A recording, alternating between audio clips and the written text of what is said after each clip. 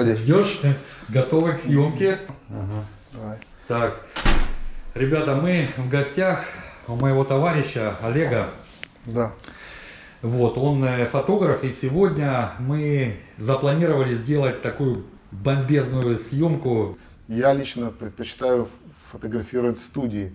Э, Дело все в том, что э, я пришел к фотографии очень давно, можно сказать, с детства. Э, Я закончил училище облбыт управления, тогда такое было. И буквально до там, 25, там, почти до 30, ну, 27 лет, и после армии я работал в студийном, в студии, скажем так, я был студийным фотографом. Потом э, начались вот эти вот э, 90-е годы, развал, и это никому не стало не нужно. И я вот этого ушел, потом переезд в Израиль. Я могу сказать, что я вернулся в тот момент, когда появились э, культуристы. То есть это тоже это было э, очень э, знаковое. Необычно. И с культуристами я познакомился вот у нас здесь в зале, уже когда я пришел в спортзал и увидел, э, ну, был такой у нас, был, значит, был, это есть, это мой как бы на тот момент кумир, э, был э, Сергей Мищенко. Я тогда даже вообще не знал, как его зовут, просто в один прекрасный момент мы с женой занимались в спортзале, и открывается дверь, и заходит громадный, красивенный мужик, ну просто, ну ненормаль, ненормальная красота была. Сразу перед, перед глазами стояли вот эти вот фильмы, которые там со Шварценеггером и так далее. Вот, потом мы познакомились, это мой как бы был первый тре- тренер э, Сергей Мищенко. Привет тебе, Серега. Вот, и, и с тех пор как бы я сам начал немножко заниматься спортом.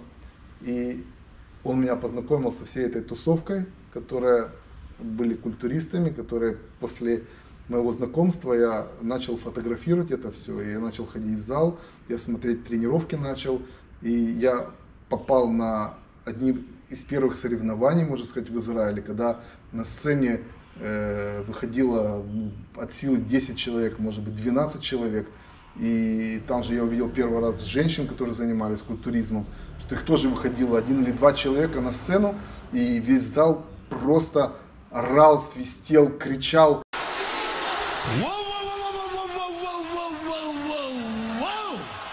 Это было непередаваемое ощущение, вот до сих пор как э, Мурашки. мурашки по телу, да, это было, это было что-то нереальное. Я в жизни никогда не видел э, такого тела.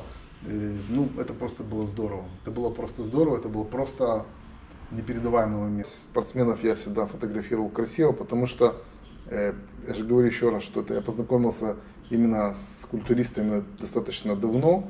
И я, можно сказать, учился снимать культуристов с самого начала до, вот, до сегодняшнего дня. Я продолжаю учиться их снимать. И я заранее знаю, допустим, как я ходил на соревнования, я видел вот этот весь позинг, я знаю, где какая поза должна стоять, какой вид должен быть, потому что, опять же, при, при всем при том, что э, культуризм, э, ну, как бы это такой спорт, показ тела, э, определенные мышцы, есть определенные стандарты э, в положениях тела, допустим, на соревнованиях. И это все можно использовать уже непосредственно на съемке. Я знаю, что идет, зачем, где какая поза должна быть, какая мышца должна работать. Я знаю, э, как разговаривать со спортсменом для того, чтобы он не упускал какие-то определенные мышцы, чтобы это все у нас работало. И поэтому я же говорю, что даже если спортсмены бывает такое, что приходят не подготовленные на съемку, то есть у них есть э, какие-то мышцы, которые, допустим, выпадают. То есть человек, допустим, как любой человек, он, он видит себя большим и красивым, но приходя на съемку, э, ты своим тренированным, скажем так, уже взглядом видишь, что человек не готов, да, то есть если Да, он то есть ты считает, знаешь, что да, как бы подготов... подготовленный спортсмен, да, который... или не подготовлен. Или не То есть, да, подготовленный. вот бывает очень часто, опять же, мы, опять же, все знаем, что спортсмены э, действительно готовы, может быть, э, всего ну, полторы-две недели, когда они на своем, сказать, пике. Вот. Э, при этом есть куча побочных явлений у них, да, то есть они, не- не- нехватка у них углеводов. Э, Если происходит вот это вот, ну, люди приходят на съемку с нехваткой углеводов, у них не варит голова, грубо говоря, они тебя не слышат, приходится несколько раз повторять, они обессилены. Опять же, это разная, у каждого разная подготовка, это, я это просто вижу. Я, я помню, как я фотографировал одного парня, он, получились шикарные, красивенные фотографии, но он был настолько э, обезуглевожен, что в один прекрасный момент он просто упал на, на пол и, и сказал, что он больше он хочет умереть.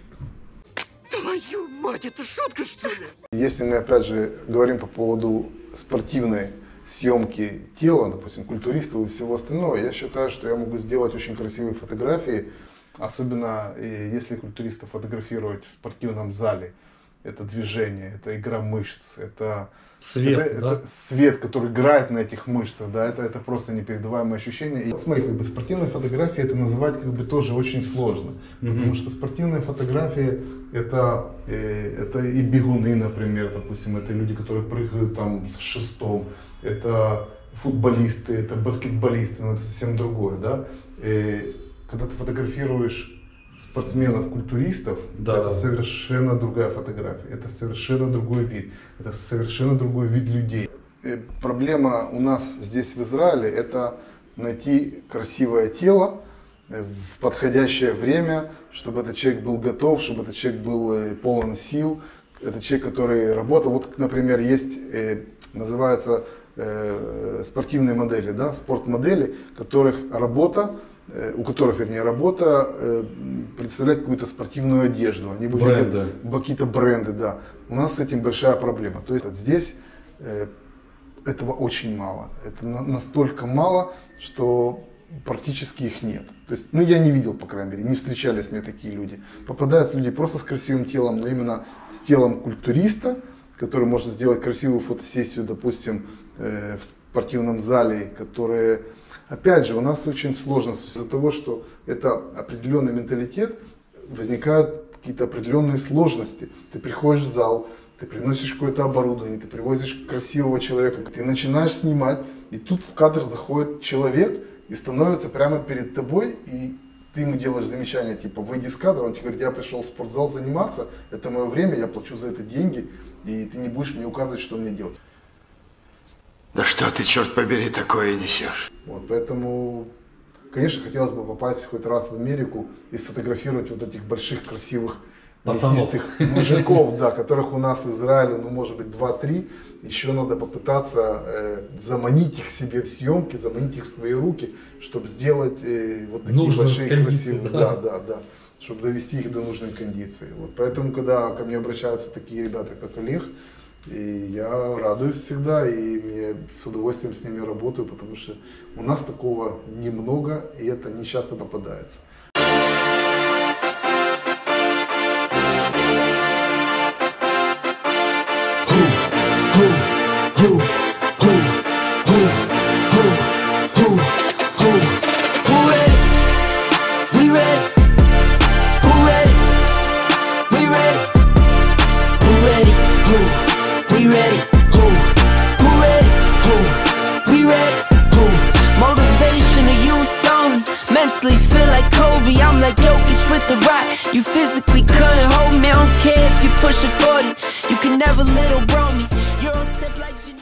Вплотную подошли к одной из очень интересных тем, и фотосессия, которую мы с тобой делали, она называлась «Гладиатор». Меня зовут Гладиатор. Да, было очень здорово. Здорово работали. Мне очень понравилось. Классная была тема. Я бы с удовольствием бы еще что-нибудь снял такого типа с тобой. И вообще, как бы действительно у нас все удачно совпало. Твои желания, мои возможности и наше совместное, так сказать, творчество. Было здорово, да. да. Вот, это была тема, как раз была тема косплея. Вот, и Кстати, я... что это такое, Олег? Слушай, я хочу тебе сказать, что я вообще небольшой специалист во всяких там названиях, да, то есть, да, косплей, я знаю, что это такое. И, ну, как бы есть просто косплей, когда люди э, делают какие-то определенные костюмы и участвуют в разных фестивалях, показывают, Да. сколько это... Комик-кон. Мне нравится, например, э, то, что называется фотокосплеем. То есть мы берем какой-то определенный образ, мы собираем э, всякие вещи, всякие э, детали, которые соответствуют этому образу. И при помощи фотографии и какой-то небольшой части, допустим, фотошопа, э, мы превращаем это в красивую картинку, которая отражает на данный момент то, что мы когда-то видели или хотели бы увидеть с нашим участием. Для меня эта фотосессия вообще в жизни была впервые. Да, Именно в профессиональном плане. классно и здорово было то, что ты э, пришел на эту фотосессию, так сказать, подготовленным, что ты принес вот такие чудесные авизарим, потому что э, детали очень важны. Чем больше этих деталей есть, чем больше деталей подходят э, к образу, и тем это лучше, тем это правдивее выходит, тем это лучше выходит, и, и, и- более красивая картинка получается. Например, да, у меня вот были вот такие вот мечи, правильно? Но это, в принципе, как бы красивые э, китайские подделки, их можно использовать на каких-то там косплеях, которые э, показывают какие-то там фэнтези, ну то, что мы привыкли к каким-то определенным как бы картинкам э, игр каких-то компьютерных и все. Но э, когда, допустим, ты пришел с таким вот шикарным шлемом, на, нагрудник кожаный,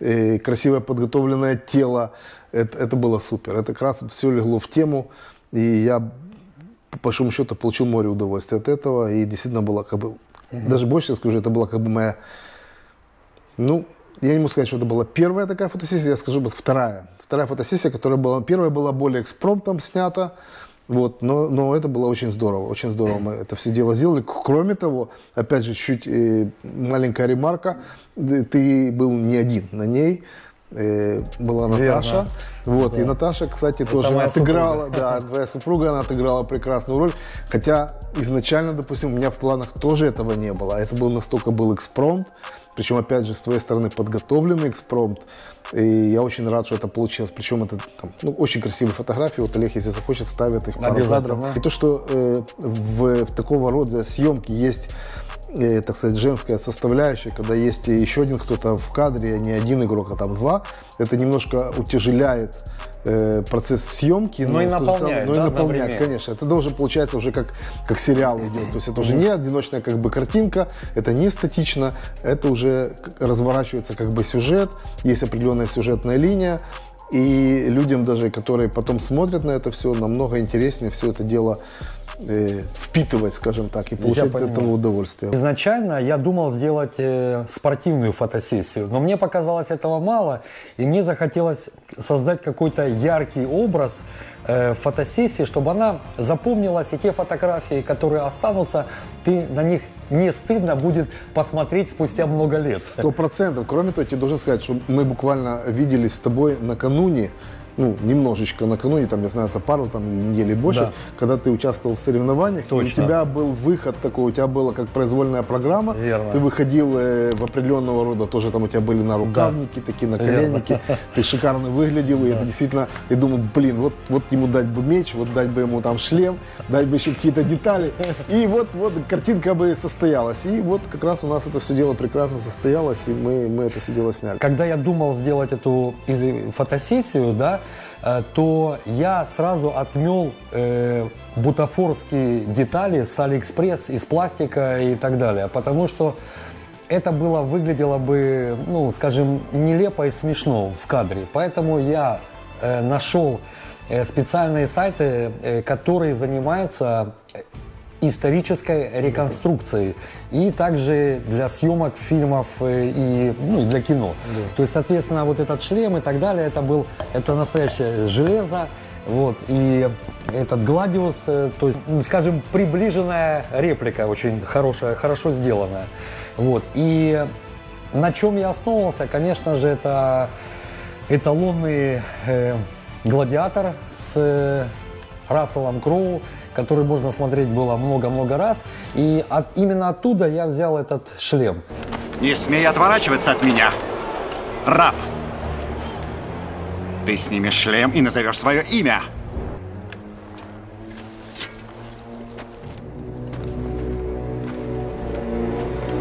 Меня зовут Максимус Децим Меридий, командующий северными армиями, генерал Испанских легионов.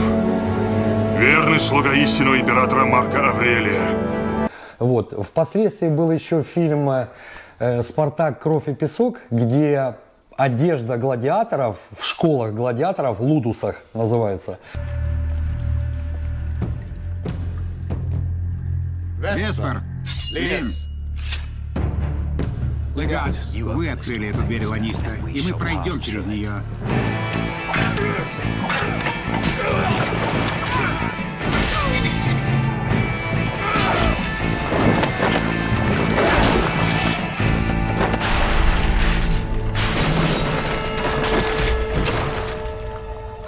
Рассказал момент, который был связан именно с Гладиусом. Да, Вообще- у нас, у нас это было Да. просто, это была космическая ситуация, потому что мы такие были подготовленные, были такие заряженные, такие классные, пришли на съемку, отсняли, допустим, опять же у нас была, как всегда, это была Да. спортивная составляющая, и Олег пошел переодеваться, переодевается, выходит такой красавчик, уже весь наряженный, и тут оказывается, что самую главную вещь э, он оставил дома. То есть вот эти вот шикарные гладиусы, их было две штуки, э, он их забыл дома. И мне потом пришлось в фотошопе их добавлять. Я надеюсь, что я справился с этим. Да. Но, но тем не менее они были куплены, они, они, они просто лежали дома. Вот. И, и мы с тех пор как бы думали, как бы их еще разочек использовать, отснять.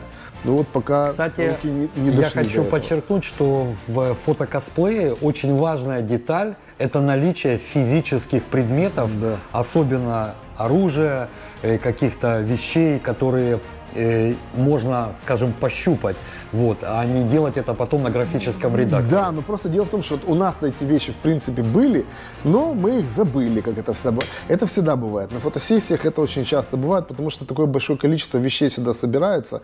Я считаю, что у нас все с тобой прекрасно получилось, и даже несмотря на то, что этот меч был э, дорисован в графическом редакторе, и, и это, это все равно было.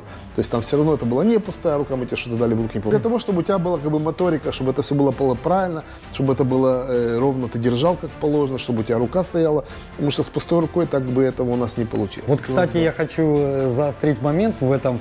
Э, Олег говорит о моторике, о движении. Вот, это очень важные моменты. При фильмах я находил какие-то незначительные движения и детали, которые я потом использовал в позициях. Причем Олег Говоря мне это, я уже понимал, что нужно сделать, как стать, какой Это угол изобразить. да, Вот. И это было очень... э, э, работало так синхронно. Мне это очень понравилось. Ну,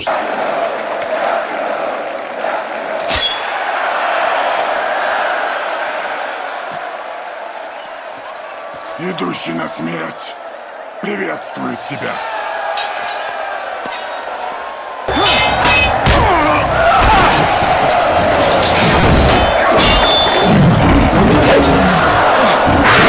Собирательный образ гладиатора, который, в общем-то, благодаря э, таланту Олега и э, как бы моему желанию это сделать, все получилось. Да, я хочу просто заметить, что вот эти вещи абсолютно э, ну, не дешевое удовольствие. Да. Я относительно недавно был в Италии, совершенно случайным образом попал на э, фестиваль, где э, именно фестиваль как бы это даже не косплея фестиваль, а фестиваль вещей для косплея. Так. Причем очень высокого уровня. Так вот, э, там было практически можно было купить любую одежду на любой там век, на любой образ. Историческая И- эпоха. историческую- любу- любую историческую эпоху. Причем это, несмотря на то, что, допустим, это можно было купить, допустим, или Вторая мировая война, или Первая мировая война, или какие-то там рыцарские бои, там, или там средние века. Но это все было настолько качественно, шикарно сделано, и это стоило просто безумных денег. То есть э, Да. женский корсет, э, вот похожий на фантазийный, как вот этих игр, все, он начинался где-то от 350 евро. Вот, То есть э, мечи, которые люди там куют, прямо на месте стоят кузницы, они стоили где-то 150-200 евро. То есть это очень-очень-очень недешевая экипировка и очень недешевые вещи. Поэтому человек, который вкладывается в, это дело, так сказать, для э, одного кадра, допустим, или для какой-то серии кадров, это очень э, ну, крупные вложения. Тот, кто понимает изнутри вообще, что такое фотосъемка, на самом деле это очень-очень тяжелая работа. Существует ф- фотокосплей э, с антуражем. Что это значит? Это значит, что это используются или какие-то декорации, Да, обязательно. Вот, э, но есть э, понятие, то есть, допустим, есть э, внутри студии, да, а есть, допустим, уличные декорации, естественные, да. Проблема у нас состоит в том, что у нас в Израиле практически нет студий, где есть нормальный красивый интерьер, или там, где, где можно построить этот интерьер. Поэтому в основном я использую или минимальный какой-то интерьер, или просто какие-то фоны, а потом уже э, подстраиваю, так сказать, опять же в различных э, графических редакторах подстраиваю тот фон, который наиболее соответствует моим фотографиям. Если где-то есть э, такие студии, где есть возможность построить э, хороший интерьер, Вот, это было бы кстати, очень здорово. об этих студиях нам довелось э, сделать фотосессию. Я делал ее со своей супругой. Взяли еще одну эпоху. Это эпоха Древнего Египта. Она была просто наполнена вот этими всеми атрибутикой, светом, дым. То есть я никогда не был в такой студии, и она на меня действительно произвела впечатление. Добрый день, мы находимся в Украине, в Днепре, в фотостудии «Авалон». И сегодня у нас будет проводиться тематическая съемка. Собственно, давайте посмотрим, что сейчас происходит. Начнем мы с гримерной, где наши модели готовятся к съемке. Продолжим с зала 2, в котором тоже будет проводиться фотосессия. В этом зале есть две локации. Это киберзона и стимпанк-зона. Собственно, одна похожа на космический корабль, а вторая на кабинет алхимика. Здесь вы можете найти множество пробирок, свечей, костей и разного другого реквизита, который мы искали и приносили в этот зал с учетом того, чтобы он вписался, собственно, в локацию. В киберзоне есть э, небольшой проход круглый в виде входа в космический корабль. И это неспроста, потому что эта локация задумывалась как э, отсылка к Стартреку. Это зал 1, и в нем собрано несколько разных локаций. Первая, которую мы видим, это скала, вторая винтовая лестница и фотозона Алиса. То есть здесь собраны как детские, так и э, взрослые локации. То есть, допустим, на винтовой лестнице очень любят сниматься дамы в платьях, выпускники, проводить семейные фотосессии. Также фотозону скалу любят дети. Особенно они любят резвиться, когда у нас здесь есть прямые солнечные лучи, потому что у нас стеклянный потолок с выходом наверх. И лестница настоящая, по которой можно подниматься. В фотозоне Алиса также съемные цветы, которые можно использовать в других э, локациях э, этого зала. И они достаточно легкие, то есть их сможет поднять даже ребенок. Что ж, наверное, переходим к залу 4, в котором и будет проходить основная часть нашей фотосъемки. Здесь у нас две локации, классическая и замковая. В замковой есть трон. Было задумано как тронный зал. Трон у нас не двигается, но под э, Хэллоуин покрывается паутиной, которую вы можете здесь заметить. Также при надобности ее можно снять. Классическая фотозона у нас используется в разное время года по-разному. На Новый год здесь стоит елка, на 8 марта здесь намного больше цветов, чем обычно, а к 14 февраля появляются сердечки, надписи и прочее, что соответствует празднику. Говорили в основном об исторических, так сказать, реконструкциях, Ну да, эпохах да, и так далее. Вот, но я видел твои работы, в них очень много фэнтези и такого направления, как стимпанк. Это вообще пересечение всяких стилей, что, конечно, было очень тяжело удержаться, чтобы этого не, не, Не сделать. снимать. Да. Поэтому я очень достаточно, ну как, много снимал, допустим, девушек в таком стиле.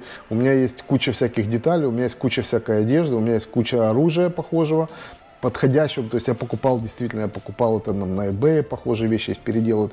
Есть такая фирма, ну, они изготовляют различного вида пистолеты, которые стреляют такими пластиковыми Пульками. пульками, да. Так вот их есть мастера, которые раскрашивают их, которые переделывают, добавляют к ним всякие там э, малю- малюсенькие деталюшки, которые превращают их в очень интересные э, такие вещи прикольные, которые очень классные. В этом стиле показано о том, что было бы с миром, если бы он немножко развивался по другим каким-то своим физическим... Викторианская такая эпоха. Это смесь викторианской эпохи, это э, Паровые дизель- машины пар- паровые машины и все, да. Так вот, э, то, что касается э, всяких вот этих деталей, приходят ко мне люди и говорят, э, мы хотим снимать стимпанк. И я говорю, окей, конечно, супер, давайте будем это все дело снимать. У меня есть много деталей, я очень люблю этот стиль снимать, потому что он э, отличается от всего остального тем, что там есть куча очень мелких, интересных, порой даже противоречивых э, таких Деталей? э, деталей, да, которые очень прикольно и красиво смотрятся в, в кадре, например, да. И я в свое время, когда собирал только свой первый э, стимпанковый, так сказать, проект, и я уже тогда был заряжен на то, чтобы покупать как можно больше всяких э, авизарим, как можно больше всяких э, деталей, маски, очки, э, оружия, да, вот я сразу покупал вот такого вот, это было как бы ну, начальное мой детский такой вот пистолет был куплен, вот, потом э, спустя какое-то время я уже вырос до взрослого пистолета, причем который уже все больше э, работал как положено, причем эти пистолеты вполне, видите, они, они сдвигаются, вводятся, они стреляют как положено, потом это развивалось все, все дальше и дальше, появлялись еще более интересное э, как бы оружие, вот, вот такого типа, э, на них шли еще какие-то определенные, вот у меня даже есть вот такой вот даже глушитель к нему шел. Что для тебя модель и что для тебя человек, который приходит на фотосессию? Это одно и то же? Э, это разные вещи. Во-первых, человек, который приходит просто как модель, это, ну, как бы полуфабрикат. Вот. э, На него можно померить все. Опять же, он или войдет в образ, или не войдет. Очень часто такое бывает, что человек ну, не подходит под этот образ. То есть мы пытаемся что-то сделать, не всегда это все совпадает. Э, Больше я люблю работать э, с людьми, которые горят образом, да, которые тоже не просто приходят на съемку, а которые и, и приносят его, еще что-то да, с собой, своё. да, которые приходят уже или с готовым образом, который они собирали, и говорят мне, Олег, вот мне там что-то не хватает, да, вместе дособерем и сделаем. Или же, которые, э, по крайней мере, знают, куда они идут. То есть это не просто люди, которых позвали, вот отыграй и, и до свидания домой. Это, это, это должны быть и, э, ну, соучастники. Это, это наш общий проект, это наше общее дело. И для того, чтобы получилась хорошая фотография, очень хорошо было бы здорово, если бы это наши, так сказать, э, желания э, суммировались, и мы вместе делали одно и то же дело. Вот. Мы с Олежкой уже работали, и я надеюсь, э, что мы сейчас хорошо подготовимся и поработаем с ним еще лучше. Э, Вот, э, давай пойдем сейчас в кабинет, там у меня есть небольшая коллекция моего оружия, ну, оно в двух местах как бы есть у меня. Но начнем оттуда, выберем кое-что, что у нас будет участвовать в съемке, и тогда уже продолжим наше, так сказать, общение. Это мой кабинет, как бы здесь мы работаем. Вот моя одна из моих стенок оружия. Олег, И- скажи, ты куда-то готовился на этот? э, нет, я просто, я просто люблю играть, я игрок в на- Вот и сейчас как бы у меня появилась такая возможность, и я совершенно случайно э, начал этим всем делом заниматься. И это очень интересная вещь, ты можешь ее использовать в съемках. Мгм. Это очень действительно как бы копийно выглядит. Олег, ну относительно вот сегодняшней съемки, Сегодня которая вот будет, я, я э, что ты предлагаешь? Да, я предлагаю использовать такие редкие достаточно виды оружия, которые не часто встречаются у нас э, в съемках. Вот Крис Вектор мы возьмем, Desert Eagle, именно с этой стенки мы возьмем. Э, Возможно, калаш просто как э, дань нашему советскому прошлому. Э, Ага. Вот, э, по большому счету здесь все. Там еще в той комнате мы возьмем э, там различные разгрузки, весты и может быть еще пару видов оружия какого-то другого.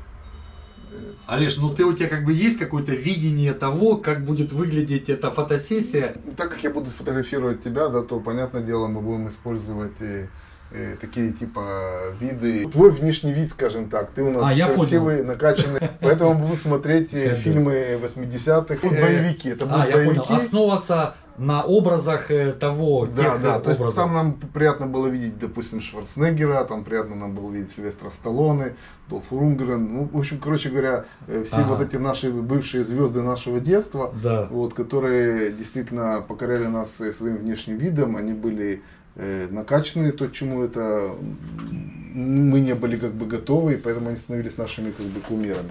Вот. Еще раз давай туда пройдем, посмотрим вторую стенку, выберем. Когда я начал собирать это оружие, были большие планы. Я хотел собрать, во-первых, чтобы оружие было разноплановое, то есть интересные э, экземпляры оружия по, э, может быть, даже по воинам, допустим. Вот наверху у меня, да, я начинал собирать коллекцию э, Вторая мировая война, да, то есть мы видим здесь э, винтовка Мосина, револьвер, и там ТТ, например, там, ну, Люге, Вальтер, э, МП, ну, в общем, короче говоря, любое, любое это оружие, вот Томпсон тоже есть прикольный очень. И, то есть пытался А это собрать... ган- гангстерский, да, такой ну, это 30-й? не ганскерский, в том и Да. дело, что это именно Вторая мировая война. Э, Ганскерский он выглядел немножко по-другому.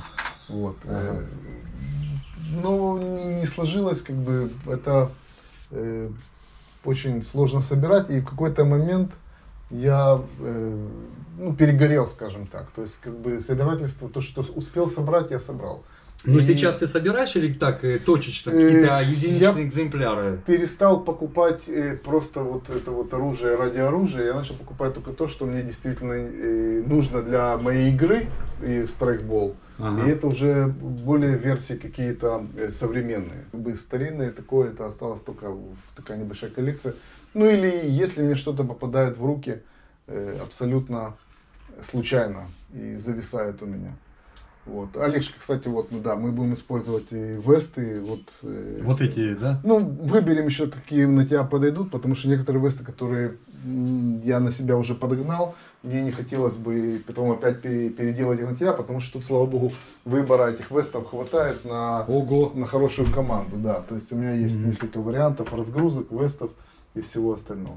Буквально начиная с прошлого года я потихонечку начал, мне понравилось, по крайней мере, познакомиться с определенными людьми. И в свете того, что я э, сам играю в страйкбол, э, я делал несколько фотосессий с девушками, которые являются инструкторами э, нашей как бы армии, которые имеют и боевой опыт.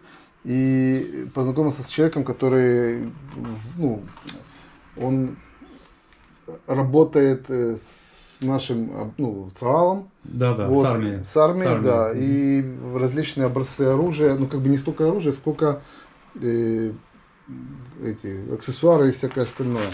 Вот. И вот э, такие вот календари они делают, и я надеюсь, что в этом году у меня получится. Но это, я так понимаю, используется для военных выставок, да? Это, Или- это, или это, как- используется просто, то есть человек, который продает э, различные аксессуары к оружию, то есть это цевья, это рукоятки переноса огня, это различные э, как бы прицелы и всякое остальное. И вот делается вот такой вот календарь просто для поощрения своих э, покупателей. Но этот календарь очень как бы дорогой, потому что он изготовляется небольшими тиражами и расходится очень быстро по всему миру. Вот. И То есть где, будет, надеюсь- где представлена... э, ну, в основном, да. Ну, везде, по всему миру продаются наши э, аксессуары оружейные, которые как все знают. Это Fab Defense, это Phobos. Э, они во всем мире считаются очень качественными и очень интересными. И здесь э, я, это моя, кроме э, мечта участвовать в изготовлении этого календаря, такого календаря. И я надеюсь, что в этом году у меня это получится. Но это, это твоя? э, твоя- Не, нет, нет, это, не, мои, твои это работы. не мои да? работы, да. Мои работы начали чуть позже. Дело в том, что в тот момент, когда календарь был уже готов, я только-только начал работать с этими людьми. Но сейчас, э, если люди зайдут ко мне на Инстаграм, они увидят, что со всеми этими девочками я уже работаю, и эти фотографии действительно пользуются э, популярностью и спросом. Сейчас как бы во всем мире очень пользуются фотосъемки с э, животными, да, то есть дикие животные, там красивая женщина э, на красивом как бы э, фоне вместе с красивой рысью или с медведем. И это все здорово, это супер идет. Так же самое милитари. Сейчас э, такое неспокойное время, и тема милитари очень зашла как бы повседневную жизнь. Это милитари брюки, это милитари футболка, это тактические ножи, это различные э, паунчи и все остальное. Поэтому я думаю, что эта фотосессия у нас получится очень классная. Здорово, супер. Да, и мы все это, ну не все, кое-что, короче, из этого арсенала мы это используем, Ага. и оно будет в тему и без излишеств, как говорится.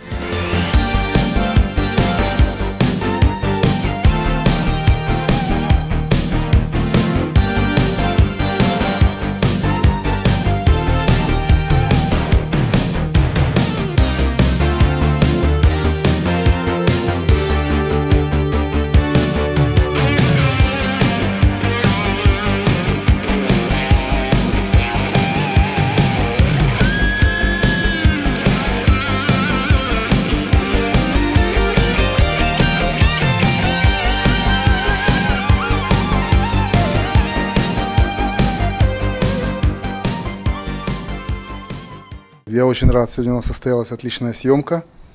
Э, С Олегом мы работали уже не один раз, и всегда это мне доставляет удовольствие с ним работать, потому что с ним работать это ну, полностью кайф просто, потому что человек приходит сюда подготовленный к съемке, он э, готовится заранее, в принципе, как и я. В этот раз мы снимали спортивную часть, в этот раз мы снимали э, милитари, то, что я люблю больше снимать, хотя спортивная часть тоже была здорово. Э, хотелось бы побольше иметь э, таких вот моделей, как Олег, которые готовятся, которые знают, что они хотят, и которые умеют адекватно оценивать себя, и с которыми вообще приятно работать. Было очень здорово, я надеюсь, и вам понравится наша работа. Друзья, вот мы познакомились с миром фотокосплея, познакомились а, с таким талантищем. Я называю его именно талантищем, это Олег. Я очень скромный. Да, и, собственно говоря, если бы не Олег, этих фотосессий, этих красивейших фотографий, я считаю, их бы просто не было. Вот. И я не говорю о своих фотосессиях, я говорю о, вообще о работе Олега.